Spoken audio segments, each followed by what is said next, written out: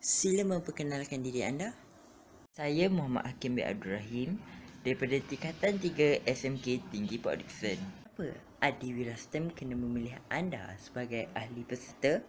Saya seseorang yang kreatif, inovatif dan berketahanan tinggi daripada segi mental dan fizikal. Saya juga mempunyai semangat ahli kumpulan yang tinggi, mudah bergaul dan saya juga seorang yang peramah. Apakah anugerah yang anda pernah perolehi dalam bidang STEM? Saya pernah mendapat anugerah yang melibatkan dengan STEM, contohnya saintis muda, robotik, yang inventor dan slide paling kreatif. Saya amat meminati sains dan matematik kerana saya mengkaji dan membuat formula yang berkaitan dengan sains dan matematik.